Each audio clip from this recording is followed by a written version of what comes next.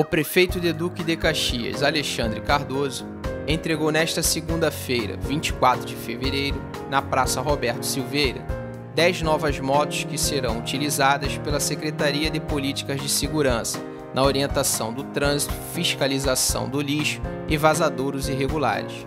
Nós temos que colocar todos os esforços para motivar o trabalhador de Caxias, motivar esse servidor público, motivar o guarda, com equipamentos novos, com infraestrutura nova, para que a gente possa começar sem fazer o viaduto do fórum, sem fazer o viaduto do Gramacho, sem fazer grandes intervenções, poder recuperar a questão da mobilidade do município. Nós agora começamos uma outra fase. Vocês devem ter visto que a limpeza melhorou? Melhorou. Porque nós chegamos aqui, nós tivemos que segurar o freio no pagamento da limpeza. E hoje a gente começa a melhorar. Melhorou a quantidade de asfalto? 200 quilômetros de asfalto em um ano. Isso é um recorde no município. Reformar 42 escolas. É? Abrir uma UPA. A parceria que nós estamos fazendo com o Bairro Novo, toda a infraestrutura do asfalto que está caindo lá é nossa. A sede do Bairro Novo é nossa. Os projetos são nossos.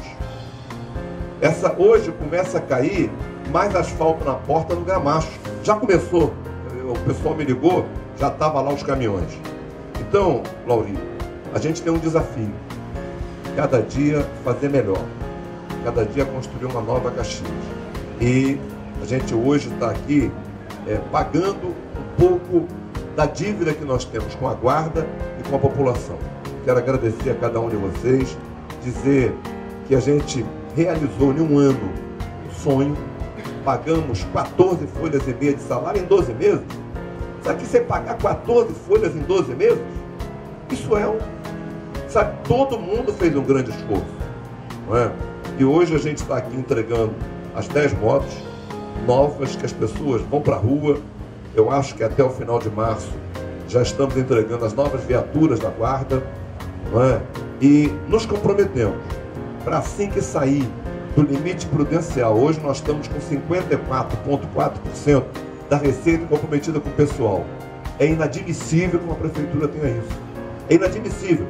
Não pode continuar esse negócio das pessoas ganhar sem trabalhar em Caxias. E não vão ganhar sem trabalhar. Nós acabamos com o super salário. Tinha gente ganhando 60 mil, 50 mil, 45 mil para não trabalhar. Entendeu? E, e, foi muito importante a parceria da Câmara de Vereadores, muito importante a parceria, sentimento do Poder Legislativo de Caxias. Prefeito, qual a importância dessas motos para a mobilidade urbana aqui do município?